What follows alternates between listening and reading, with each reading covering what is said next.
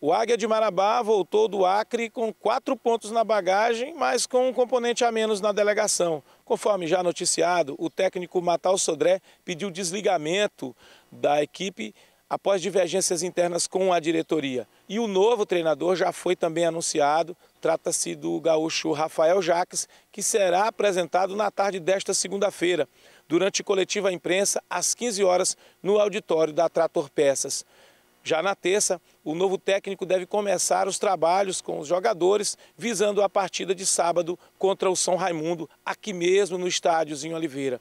Uma vitória do Águia nesse reencontro com a torcida já classifica o time para a fase de mata-mata do Campeonato Brasileiro da Série D. Depois desse jogo, o Águia se despede dessa primeira fase contra o Princesa de Solimões, jogando fora e possivelmente já devidamente classificado para iniciar o mata-mata nas datas que ainda serão divulgadas pela CBF.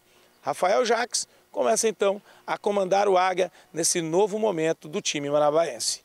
Com imagens de Jean Brito, Chagas Filho para a TV Correio.